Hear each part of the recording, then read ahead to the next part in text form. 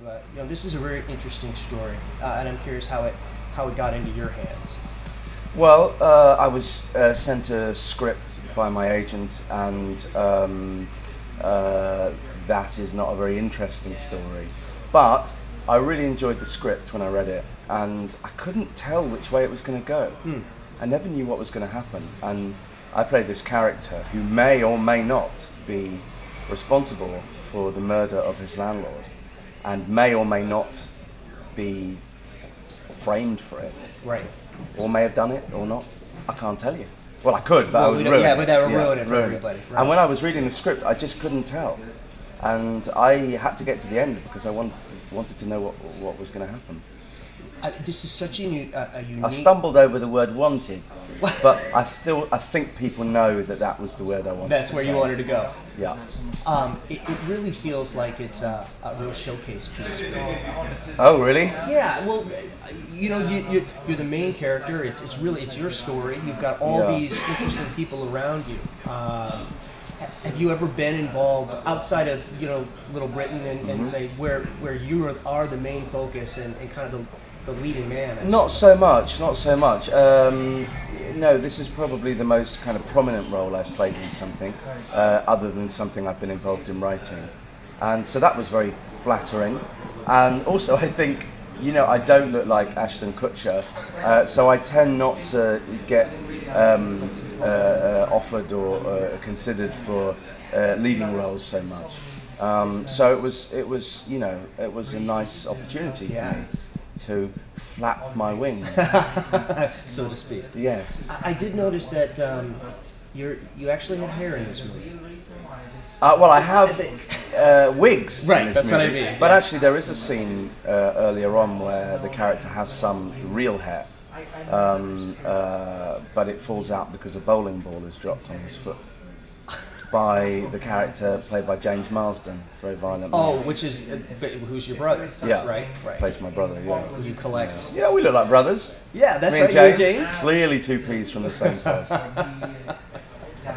Um, what was it like working with? Uh, you know, you've got the, the, the cast is Yeah, amazing, amazing. Yeah. You know, to, to, to be able to work with you know veterans like uh, James Caan and and then and then you know somebody as crazy as a, as a Johnny Knoxville. Yeah. just the the range. You know. Well, the secret about Johnny uh, that no one really knows is he's very docile. he is. He's like a, um, a sedated puppy. Um, uh, albeit one with creaky joints now because he's been throwing himself around for so many years. yeah. Uh, but he's a very kind and gentle man, and uh, he probably wouldn't want me to say that because he probably wants uh, you to think he's rock and roll.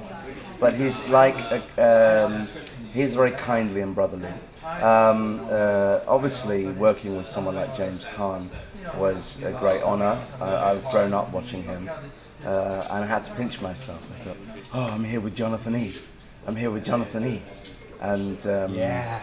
challenged him to a game of rollerball. It wasn't But he didn't fussed. wanna play? No, he wasn't fussed. Wow.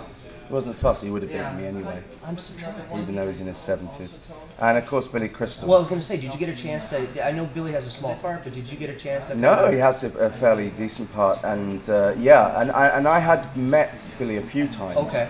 Over the years because he was doing his stand-up tour, and myself and David Walliams were doing our Little Britain tour at the same time in Australia a few years ago, and uh, so we got to know each other then, and we would meet for dinner.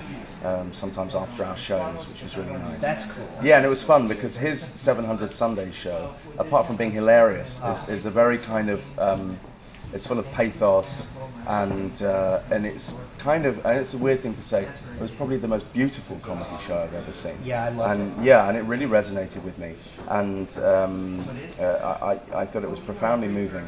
And the idea that he has just done that show and meets us for dinner, and David Walliams and I have been stripping off and yelling obscenities and yanking people up on stage and pulling down their, their uh, trousers.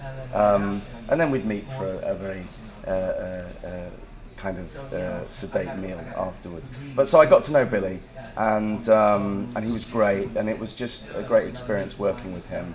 Um, and we had a scene together. I can't imagine you two doing, uh, having a, you know, writing a piece together. That would be. Uh, Oh that would be wow! I mean, cool. look, I just think he's him and Robin Williams, the two of them, Oh. are in their own class, really. Uh, and it's easy sometimes to get fixated on on whoever's new and fresh, and obviously some amazing people coming through all the time. But the two most extraordinary live shows I've ever seen were Robin Williams and, and Billy Crystal. You know, you, you mentioned something, um, you know, about Billy's uh, one-man show. You know, it, it is one of those pieces that makes you laugh, and then and then also has that, you know, the heart.